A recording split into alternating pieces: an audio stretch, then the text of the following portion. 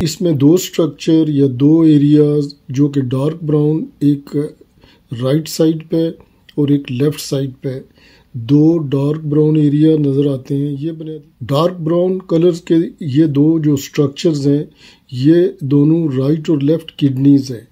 اور دونوں طرف کی کڈنی سے ایک ٹیوب لائک یا ٹیوبل سا سٹرکچر نظر آتا ہے، ایک ٹیوب نظر آتی ہے جو نیچے جا کے ایک دوسرے سٹرکچر میں جو ریڈ کلر کا ایریا ہے، اس میں کھلتی ہے۔ انسانی جسم میں کڈنیز خون کو فلٹر کرتی ہیں اور فلٹر کرنے کے بعد جو ایک لیکوڈ یا فلوئڈ یا ایک پانی نکلتا ہے، جس کو یورین یا پیشاب کہتے ہیں، یہ دونوں سائڈز کی کڈنی سے نیچے جا کے بلیڈر میں کلیکٹ ہوتا ہے۔ آئیے اب آگے دیکھتے ہیں کہ پراسٹیٹ کی لوکیشن کیا ہے انسانی جسم کے اندر۔ اس تصویر میں دیکھیے، یہ جو اوپر والا گول سا ریڈ ایریا ہے، یہ یہ یورینری بلیڈر یا مسانے کا ایریا ہے۔ یہ مسانے کا ایریا جس میں کہ اوپر سے دو کڈنی کی ٹیوبز یا یوریٹرز آ کے کھلتی ہیں۔ اس کے نیچے والے حصے میں جو کہ نیک آف بلیڈر کا ایریا ہے یعنی بلیڈر کی یہ نیک ہے یہاں سے یہ بلیڈر ایک پیشاب کی نالی کے ذریعے نیچے اس نیک آف بلیڈر کے اراؤنڈ آپ دیکھیے ایک سٹرکچر نظر آتا ہے یا ایک ایریا نظر آتا ہے، یہ پراسٹیٹ ہے۔ اگر ہم اس کو مارک کریں تو پراسٹیٹ ہمیں اس طرح کا نظر آئے گا۔ اب اس تصویر میں دیکھیے، اسی تصویر میں یہ دو پیلے کلر کے جو دو ایریاز نظر آتے ہیں، یہ دونوں بیسیکلی پراسٹیٹ کے لوبز ہیں۔ پراسٹیٹ کے دو لوبز ہوتے ہیں، ایک رائٹ لوب ہوتا ہے، ایک لیفٹ لوب ہوتا ہے۔ ان دونوں لوبز کے درمیان سے پیشاب کی نالی گزرتی ہے، نیچے کی طرف، جہاں سے پیشاب پاس ہوتا ہے۔ اس طرح اگر پراسٹیٹ کی سٹرکچر دیکھیں تو پراسٹیٹ کا ایک بیس ہے، جو کہ بلیڈر کے ساتھ یا بلیڈر کی نیک کے ساتھ جڑتا ہے اور نیچے کی طرف اس کا اپیکس کا ایریا ہے۔ اگر یہ پراسٹیٹ کے دونوں لوبز یا ان میں سے کوئی ایک لوب انلارج ہو جائے یا اس کا سطح ہے۔ یا دونوں سائڈ کے اگر لوبز بڑھیں تو جس طرح اس تصویر میں نظر آتا ہے یہ پیشاب کی نیک کو اور پیشاب کی جو نالی ہے اس دونوں کو یہ کلوز کرتے ہیں۔ جب ایسا ہوتا ہے یا پراسٹیٹ لارج ہوتا ہے تو پیشاب کی نالی کو بند کرتا ہے اور پیشاب میں رکاوٹ شروع ہو جاتی ہے۔ اب سوال یہ آتا ہے کہ پراسٹیٹ لارج کیوں ہوتا ہے یا پراسٹیٹ کا سائز کیوں بڑھتا ہے؟ تو پراسٹیٹ کے سائز کے بڑھنے کی آج تک کوئی خاص وجہ سامنے نہیں آ سکی۔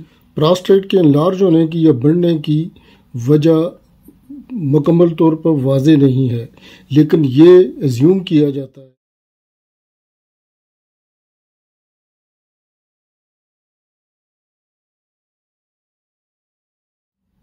لیکن یہ ایزیوم کیا جاتا ہے یا یہ کہا جاتا ہے کہ انسانی جسم کے اندر کچھ ہارمونز کا رول ہے یا انسانی جسم کے اندر کچھ ہارمونز ہیں اسپیسیفک ہارمونز جن کو سیکس ہارمونز بھی کہتے ہیں، جس میں ٹیسٹوسٹیرون اور ایسٹروجن کا رول ہے۔ یہ ہارمونز چینج ہوتے ہیں یا ان کے اندر ان کا بیلنس چینج ہوتا ہے، جس کی وجہ سے پراسٹیٹ انلارج ہوتا ہے۔ چونکہ یہ دونوں ہارمونز کا ایک ریلیونس یا ایک تعلق بنتا ہے پراسٹیٹ کی انلارجمنٹ سے۔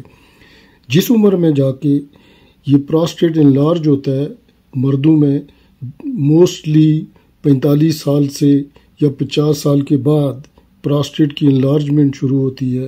اور اور عمر کے ان سالوں میں جو خون کے اندر یہ ہارمونز ہیں، ایسٹروجن اور ٹیسٹوسٹیران، ان کا بیلنس چینج ہوتا ہے۔ اور اسی لیے یہ توقع کی جاتی ہے کہ ان دونوں ہارمونز کا پراسٹیٹ کی انلارجمنٹ سے کچھ نہ کچھ تعلق ضرور ہے۔